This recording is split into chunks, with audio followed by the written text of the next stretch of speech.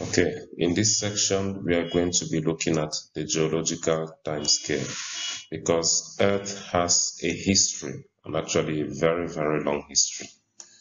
The time span that Earth has been around, that's about four to six million years ago from the time it finally formed to now, is too long for any living memory to actually remember. The ages are extremely old. So scientists have divided this long period of time into subsections, into subunits to form what we call a geological time scale, which is some sort of calendar that tells us the different types of events that have been occurring in Earth's history, as will be seen in the following slides. So they do that by dating fossils and the rocks that actually surround these fossils. That's what paleontologists do. They form some kind of calendar. And the geological time scale is then divided into short units, about four of them. And these units are in descending order from the biggest to the smallest. There are one, two, three, four we have the eons. The eons are about billions of years. It means the earth has eons of ages, four to six billion years. Aeons are subdivided into eras, which of course are shorter periods than eras.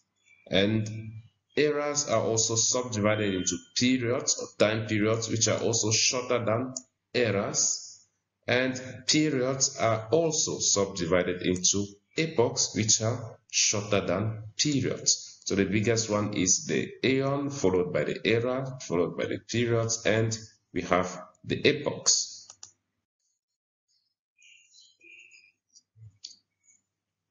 So here we have some terminology. geological time scale, time scale that is used to trace the history of life. And the subdivisions of this, this the units are here the aeons. The units are here the aeons. Very long periods of time billions of years like i mentioned earlier eras subdivisions of aeons. Time period subdivisions of eras. Epochs subdivisions of time periods. The Precambrian time, time before we had more or less any life forms. We'll look at the Cambrian period or the Cambrian explosion in another slide.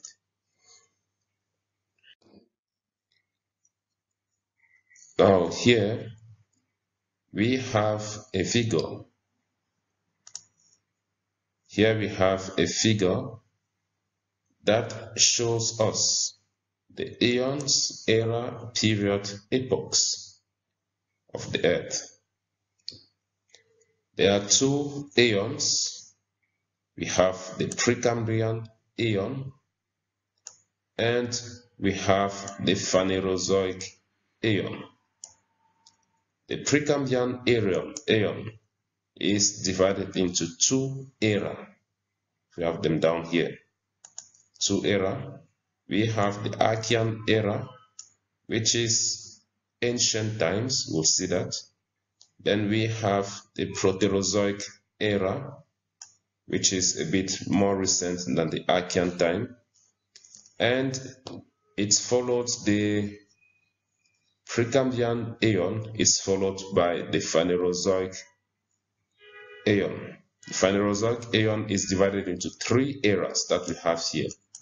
Now, these are the three areas that we are going to consider mostly in this section in our curriculum. The other two areas are not much important for our studies. Our studies will mainly focus on these three areas here, the Paleozoic era, the Mesozoic era, the, the Cenozoic era. Please remember all these names, you don't necessarily need to know them. Okay, but just for study's sake, we want to look at this as divisions so that we can understand the flow of information. Now, these eras are subdivided into periods. Here, they've been summarized, for example, for the Precambrian or the Archean era, we have just the late and middle period. For the Proterozoic era, we have the early, the middle, and the late. That's how they've just so it's been summarized. Then the Paleozoic era, we have the Cambrian era. We'll look at the Cambrian explosion at a later stage to see what it means. And those are the, all the subdivisions of this era. Same with the Mesozoic and our fam famous Jurassic. I'm sure you've watched the music, the, the movie Jurassic Park. The ones for, not the ones for Nigerians, of course. Okay, our famous Jurassic period is found in the Mesozoic era. Here also we'll look mostly at the quaternary period of the Cenozoic era. The Cenozoic era is recent times. The quaternary period is the period where we find the Holocene epoch. The Holocene epoch is the time in which we live.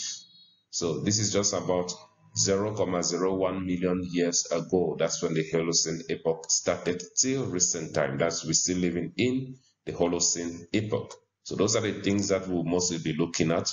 We'll just be concerned with one, two, three eras. We'll also be concerned with the Cambrian explosion. We'll be concerned with the Quaternary period and the Holocene area, uh, the Holocene epoch. That's mostly what will be our center of concern.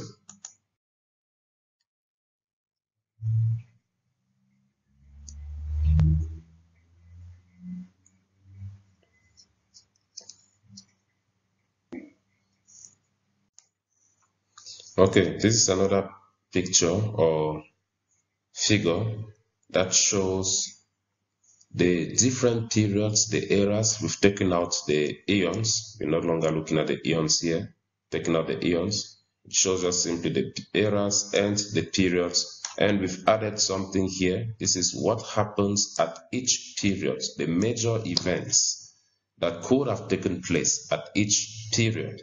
I'll just mention a few here. For example, we have here the Proterozoic era, where we first found the first skeletons of soft-bodied metazoans traces of animals. That's when we started having animals. Then we have the Cambrian period where the fishes started to appear. If you look here, we have the Triassic period where dinosaurs and other mammals started to arise.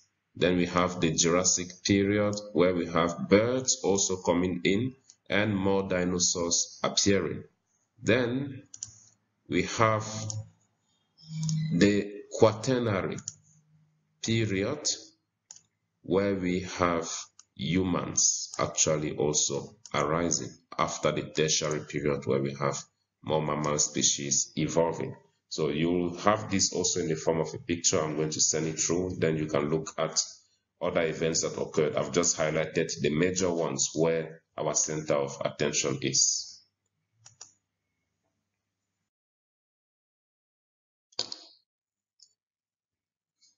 Okay, the geological time scale. What does it mean? Remember, okay, this is just about the history of life taking place millions of years ago. So that's what scientists have done. I think I've mentioned all of this already before. They've just divided all these periods into sub-units, the eons, eras, periods, and epochs. Okay. So these are the three main eras I was talking about three main areas that will be center uh, will, will center all our attention on the Paleozoic era, the Mesozoic era, and the Cenozoic era. Okay, all of this happened or goes back about 543 million years ago. And these eras, like I said, are divided into about 13 time periods. For example, we had the Triassic, where the dinosaurs started appearing, then the Jurassic, where we had more dinosaurs and even birds appearing, and we have the Neogene. The Cenozoic time period is divided into small time periods called epochs. For example, we had our, our Holocene epoch, where humans actually started evolving. Okay, and the period before the Cambrian period, just by what it means here, pre, pre means before. So the Precambrian period is what comes before the Cambrian, Cambrian period. Okay, you can do this exercise at your own time. You just move forward from there. It's on the next page.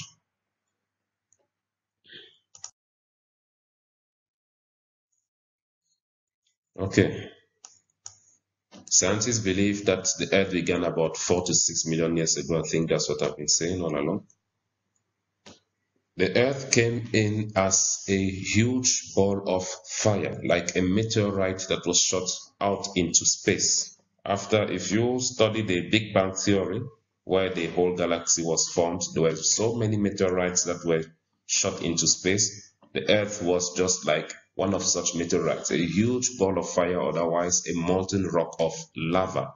And it had a lot of burning gases on it. And when it cooled down, the gases were released from the earth, from the inside, from the core of the earth. The gases included hydrogen, methane, ammonia, nitrogen. Water vapor was present, but notice that there was no oxygen. We've not mentioned oxygen here, you remember, because many scientists believed that there was no oxygen at the beginning of time, though some scientists, few scientists believe that there was some amount of oxygen present.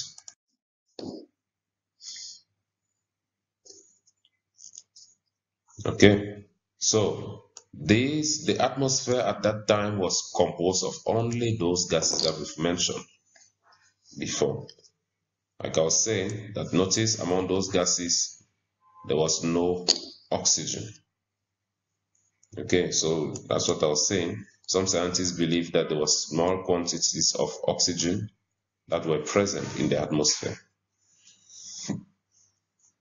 This is the work that some scientists like uh, Oparin and the English scientist Haldane put forward, put forward the hypothesis that began in 19 in the 1920s.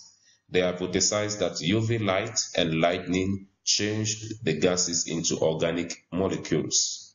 And that's what many people still believe to present time. And somehow it's kind of related with what we experience. In many human, in many living beings or animals, organisms, there is some small amount of electricity that always flows around our body. So these scientists believe that either UV light or lightning sparked off the formation of organic molecules, which paved the way for the formation or for the creation of life forms.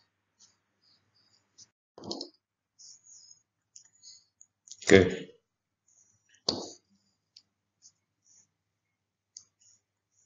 The organic molecules that were found, that were found at that time due to the radiation and the lightning were proteins and fatty acids. And if we remember the membranes of cells are usually made up of two layers of proteins or and a layer of fat. So proteins and fatty acids could easily combine to form cellular membranes that could enclose the contents of a cell, hence forming cells. When we look at fossil records, there's evidence that cells existed about 3.4 billion years ago. It means just about 600 million years after Earth was actually formed. Okay. Now, there is no evidence, fossil evidence cannot easily show us or prove to us that they or prove to us or show to us how these cells formed or that the cells formed because of gases and liquids.